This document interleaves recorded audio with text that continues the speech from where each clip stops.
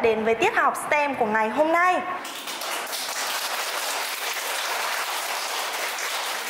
Các con ơi, để bắt đầu tiết học STEM ngày hôm nay thì cô thấy lớp chúng mình đã chuẩn bị những dụng cụ. Các con đã chuẩn bị dụng cụ đầy đủ chưa nhỉ? Chúng mình cùng bắt đầu nhé. Để bắt đầu thì chúng mình sẽ cùng nhau đến với hoạt động đầu tiên, hoạt động khởi động. Các con sẽ cùng nhau đọc và vận động theo một bài thơ. Cô mời bạn Minh Anh và bạn Phương Linh. Các con hãy lên đây làm mẫu cho các bạn nào. Mời cả lớp đứng dậy.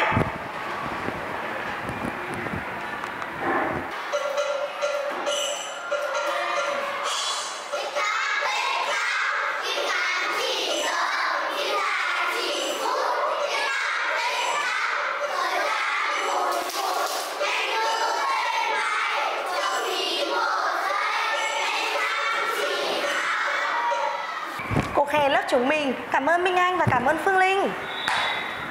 Các con ơi, bài thơ vừa rồi nhắc nhở chúng ta điều gì?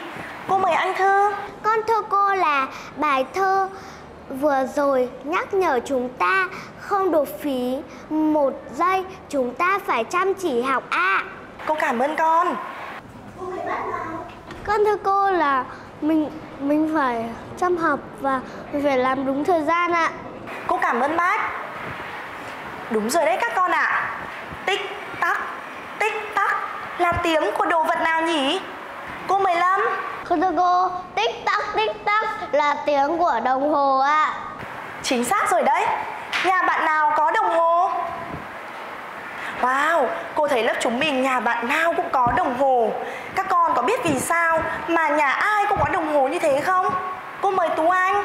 Thưa cô là bởi vì thì mình xem rồi là mình biết ừ, việc nào vào việc đấy ạ. Cảm ơn Tú Anh. Cô mời Minh Anh. Con thưa cô là nhà bạn nào cũng có đồng hồ để mình xem thời gian, mình biết làm việc đó ạ. Cảm ơn Minh Anh. Các con ơi, đúng rồi đấy. Đồng hồ để chúng ta biết được thời gian cũng như là sắp xếp được thời gian, giờ nào làm việc nấy. Thế đồng hồ nhà chúng mình có dạng hình gì? Cô mời Phương Linh. Con thưa cô, hình dạng đồng hồ nhà con có hình tròn ạ. Cảm ơn Phương Linh. Cô mời Tuệ Minh nào. Con thưa cô là đồng hồ ở nhà con có hình vuông và hình tròn ạ. Cảm ơn Tuệ Minh. Các con ạ, đồng hồ có rất nhiều hình dạng như các con vừa chia sẻ. Có hình tròn, hình vuông hay hình chữ nhật.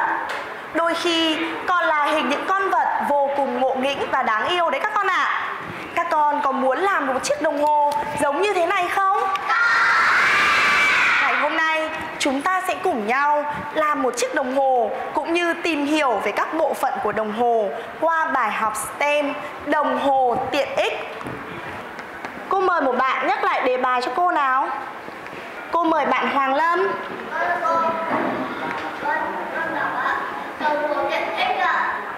Cảm ơn Hoàng Lâm. Để bắt đầu vào tìm hiểu về các bộ phận của đồng hồ, chúng ta sẽ cùng nhau đến với hoạt động số 2, hoạt động khám phá. Các con sẽ quan sát kỹ cho cô chiếc đồng hồ sau. Thảo luận nhóm và cho cô biết đồng hồ gồm những bộ phận nào. Thời gian thảo luận nhóm của các con là một phút. Một phút bắt đầu.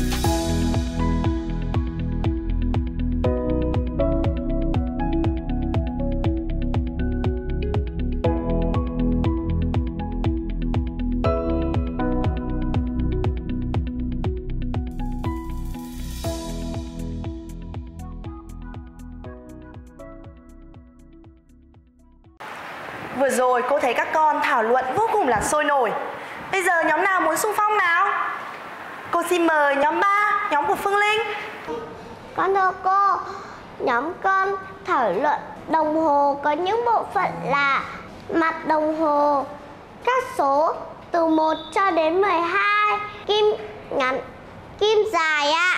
Cô cảm ơn Phương Linh Nhóm nào có ý kiến khác? Cô xin mời Bảo Anh Con thưa cô, nhóm có thảo luận và đưa ra ý kiến ạ. Đồng hồ gồm bộ phận là mặt đồng hồ, số từ 1 cho đến 12, kim dài, kim ngắn và những vạch đen ạ.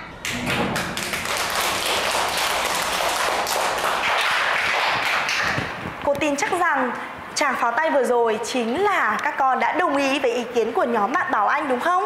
Cô cũng đồng ý với các con đấy. Các con ạ, à, một chiếc đồng hồ cần có mặt đồng hồ. Trên mặt đồng hồ còn có cả kim ngắn và kim dài.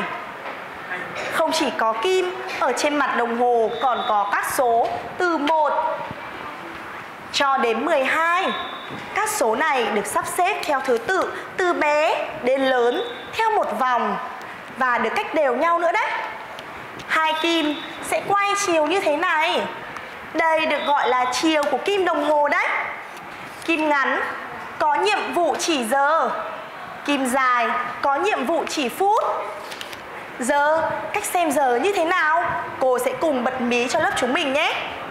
Xin chào các bạn. Tớ là đồng hồ bận rộn Tớ làm việc suốt cả ngày đấy các bạn ạ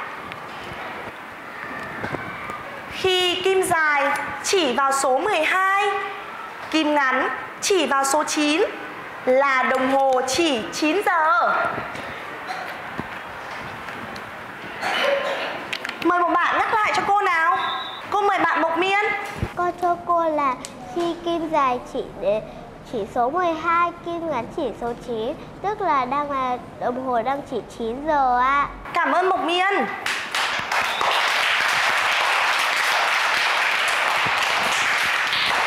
Bây giờ các con hãy cùng quan sát nhé.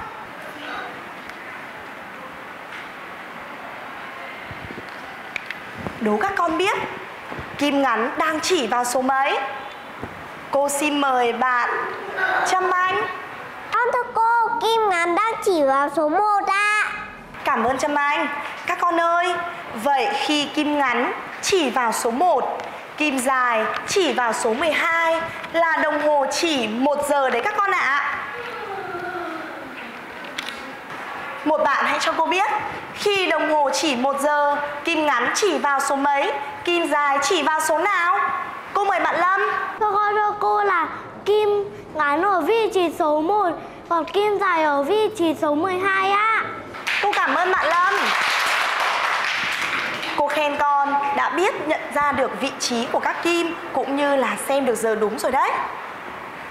Bây giờ cô có một thử thách dành cho lớp chúng mình nhé Cô muốn đồng hồ chỉ 3 giờ. Bạn nào có thể lên chỉnh kim đồng hồ cho cô? Cô mời bạn Bảo Linh.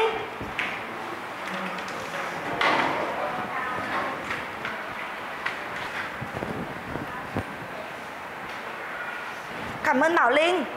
Cô mời một bạn nhận xét. Tín nào. Con thưa cô là bạn đã quay đúng kim ngắn theo câu theo cô yêu cầu với ạ. Cả lớp khen bạn. Các con ơi Bây giờ cô có một thử thách khó hơn Dành cho lớp chúng mình nhé Cô xin mời một bạn. Hãy lên quay cho cô Kim ngắn đến một số mà con yêu thích. Các bạn ở dưới có nhiệm vụ Hãy quan sát thật kỹ Xem bạn quay đến số nào Và chúng mình sẽ viết giờ vào trong thẻ từ. Cô mời lớp chúng mình lấy thẻ từ lên nào Nào, bạn nào xung phong? Cô xin mời bạn Tín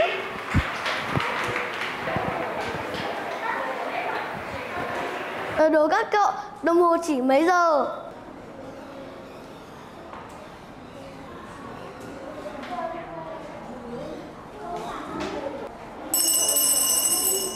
Đã hết thời gian mời các con dơ thẻ từ lên cho cô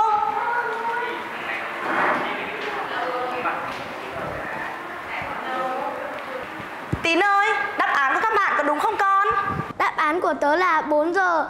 Chúc mừng các cậu. Cô mời một bạn mang đáp án lên cho cô nào. Cô mời bạn Nhật.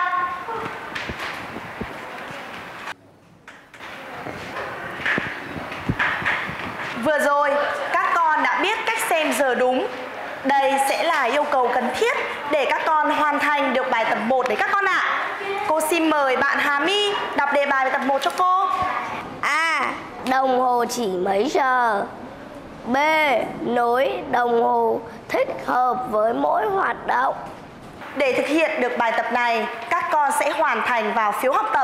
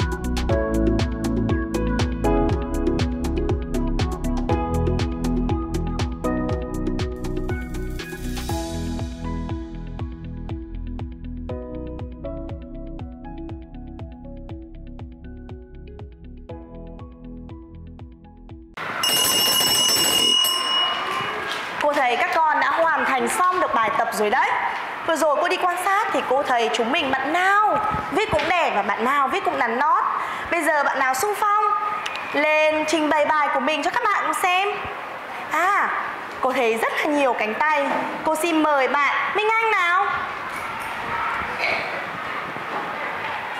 Con thưa cô, đồng hồ chỉ 3 giờ, đồng hồ chỉ 7 giờ, đồng hồ chỉ 11 giờ, đồng hồ chỉ 12 giờ ạ. à.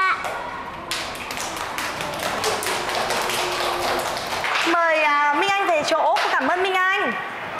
Bao nhiêu bạn có bài làm giống như của bạn Minh Anh nào? À, cô thấy lớp chúng mình Bạn nào cũng làm giống như bạn Minh Anh. Xin chúc mừng các con Đây là một đáp án chính xác. Bây giờ cô đố lớp chúng mình nhé Xem bạn nào tinh mắt Nhìn cho cô này. Khi hai kim ở cùng một vị trí Là đồng hồ chỉ mấy giờ? Cô mời bạn Minh Đức. Con thưa cô, khi hai kim ở cùng một chỗ là đồng hồ chỉ 12 giờ ạ. Bạn trả lời đúng không các con? Bạn bạn một tràng pháo tay nào À các con ơi Vậy lúc 12 giờ Thì chúng mình thường làm gì nhỉ? Cô xin mời bạn Vương Minh Đức Con thưa cô là lúc 12 giờ tối con thường đi ngủ ạ. Cảm ơn Minh Đức Thế còn Bách thì sao? Con thưa cô là lúc 12 giờ đêm con con hay đi ngủ say ạ. Cảm ơn Chúng mình sẽ cùng chữa tiếp đến câu B nhé. Bạn nào xung phong chữa câu B? Cô xin mời bạn. Anh Thư. Con thưa cô, bạn Lan tập thể dục vào lúc 6 giờ và bạn Lan đi học vào lúc 8 giờ và bạn Lan chơi với em vào lúc 5 giờ chiều ạ. Cô cảm ơn anh Thư, mời anh Thư về chỗ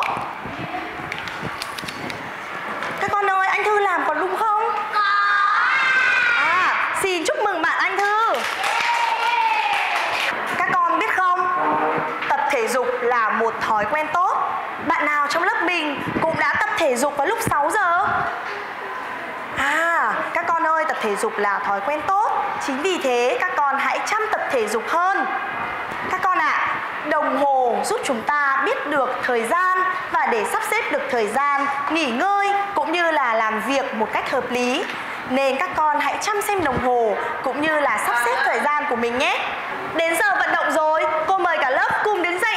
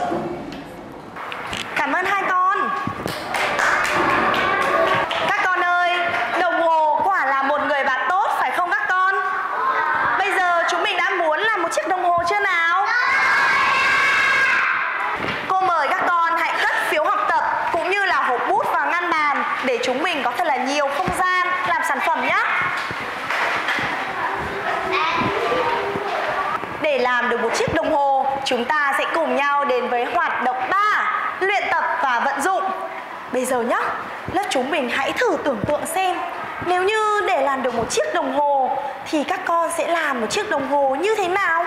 Chúng mình sẽ sử dụng vật liệu gì?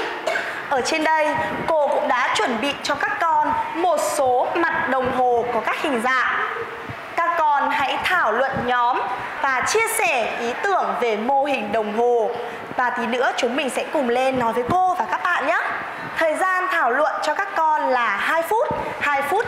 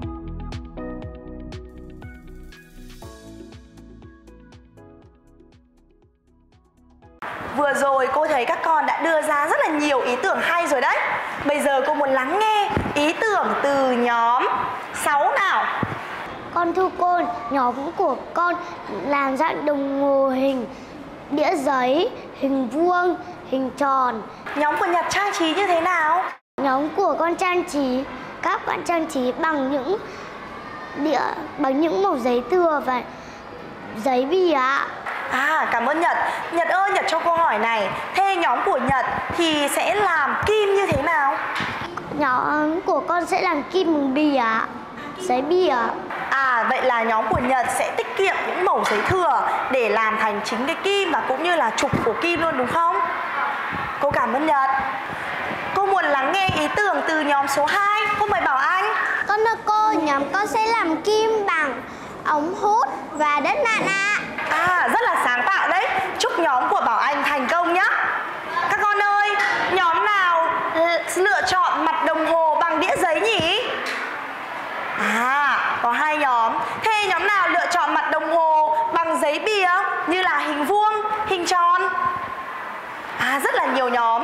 Thế nhóm nào lựa chọn cả đồng hồ là giấy bìa Cũng như cả đồng hồ là đĩa giấy ạ? À cảm ơn các nhóm. Cô thấy các con có rất nhiều ý tưởng làm đồng hồ khác nhau. Nhưng theo các con Cần để làm được đồng hồ Thì cần có những gì? Cô xin mời bạn Tín. Con thưa cô, để làm một chiếc đồng hồ, chúng ta cần phải đủ các số từ 1 đến 12. Kim có thể quay được và đảm bảo chắc chắn và và đẹp ạ. Chúng mình có đồng ý với Tín không?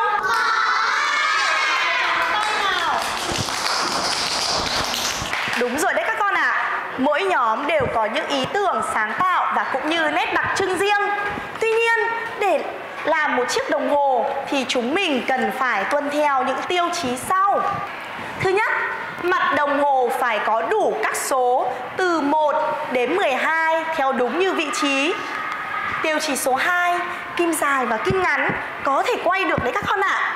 Và cuối cùng, chúng mình cũng đừng quên phải chắc chắn, trình bày đẹp cũng như là sáng tạo nhé. Bây giờ chúng mình đã muốn làm một chiếc đồng hồ chưa? Vừa rồi cô cũng nghe thấy được rất nhiều ý tưởng các con làm kim Cô cũng có một số cách làm kim sau. Cô sẽ gợi ý cho chúng mình nhé. Chúng mình cùng quan sát.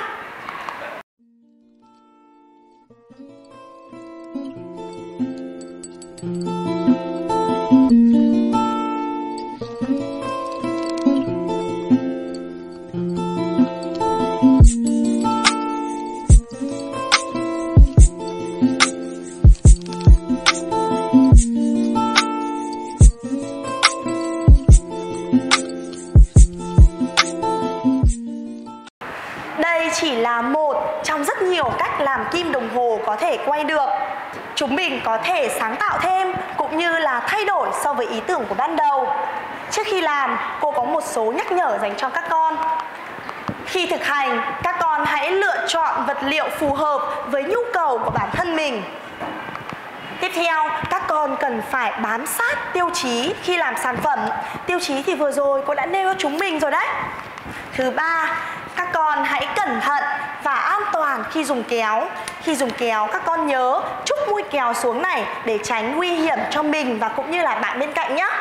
Nhóm nào mà khi làm xong, giữ vệ sinh được môi trường cũng như là xung quanh chỗ chỗ ngồi của mình thì nhóm đấy sẽ được cộng điểm đấy.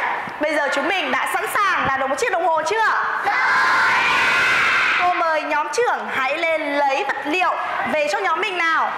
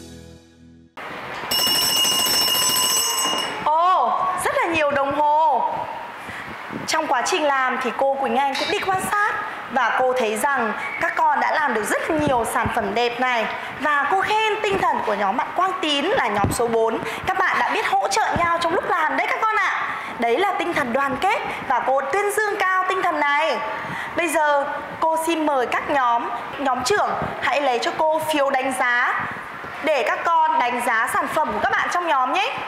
Mời các con.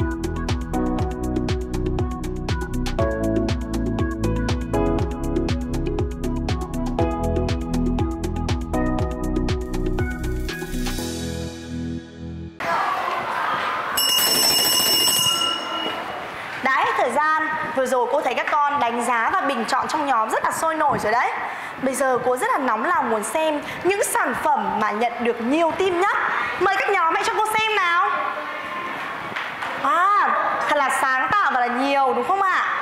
Ôi, cô thấy nhóm của nhóm số 1 của bạn Hà My có tận 3 đồng hồ nhận được nhiều tim nhất Chúng mình hãy cùng xem nhé Rất là sáng tạo đúng không các con? Đồng hồ của bạn Nhật Nam có hình gì nhở?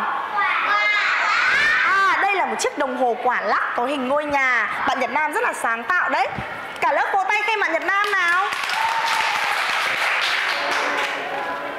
Bây giờ cô sẽ kiểm kiểm tra các con, xem chiếc đồng hồ của các con có phải là chiếc đồng hồ tiện ích không qua hoạt động tiếp theo, Hoạt động 4 vận dụng và trải nghiệm.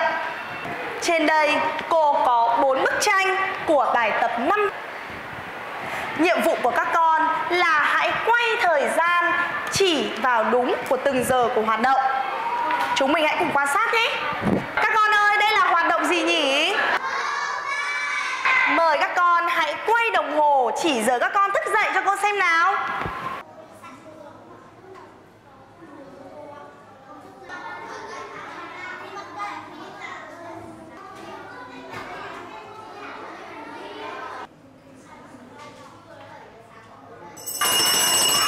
Mời các con giơ đồng hồ cho cô quan sát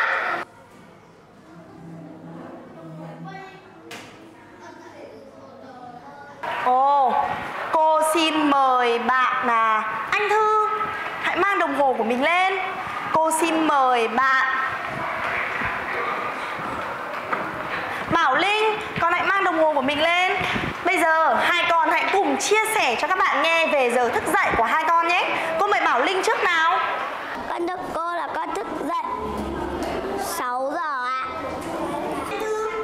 Con thưa cô, con thức dậy vào lúc 7 giờ ạ À, các con ơi, vậy là hai bạn đều có giờ thức dậy khác nhau. Bạn Bảo Linh thì thức dậy vào lúc 6 giờ, còn bạn Anh Thư thì thức dậy vào lúc 7 giờ. Các con ạ, vậy là mỗi bạn lại có những thời gian hoạt động khác nhau.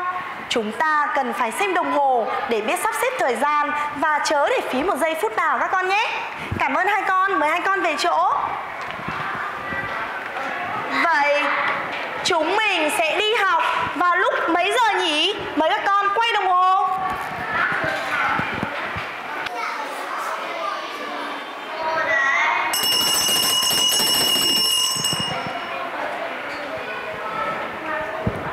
À, cô thấy đáp án của các con đều là đi học vào lúc 8 giờ. 8 giờ chúng ta sẽ vào học và bắt đầu tiết 1. Đến khi chiều về, các con sẽ ôn bài vào lúc mấy giờ? Xoay đồng hồ nào.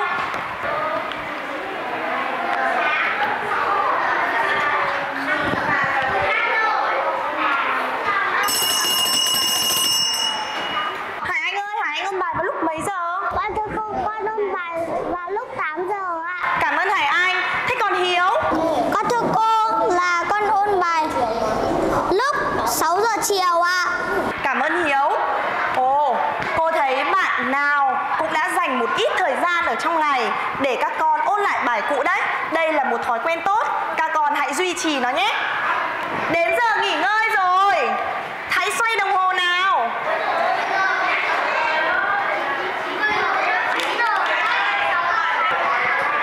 Phương Linh, Phương Linh hãy cho cô biết con đi ngủ vào lúc mấy giờ?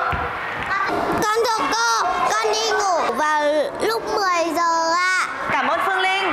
Có bạn nào đi ngủ vào lúc 11 giờ không? À, cô thấy có một số bạn đã giơ tay ngủ vào lúc 11 giờ. Các con nhớ nhé, chúng mình nên đi ngủ trong khoảng từ 9 đến 10 giờ. Đây là thời gian thích hợp để chúng mình nghỉ ngơi cũng như là lấy lại năng lượng vừa đủ để cho buổi học ngày hôm sau đấy các con ạ. Bây giờ các con còn muốn xem sản phẩm của chính mình làm ra không? Cô mời các con hãy gắn sản phẩm của mình lên bảng nhóm.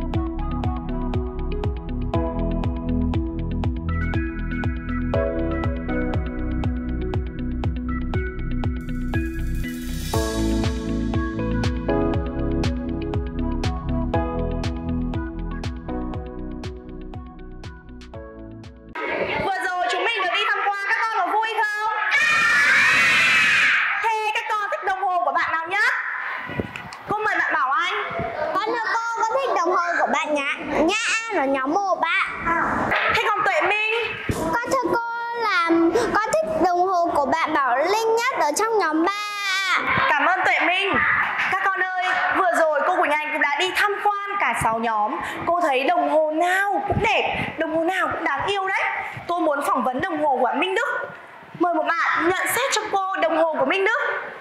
Cô mời Thư.